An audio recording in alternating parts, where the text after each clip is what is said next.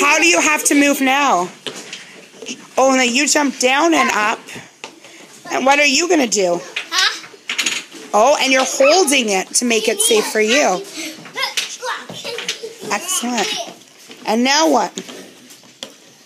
Perfect. And we need this. Now, where will that go?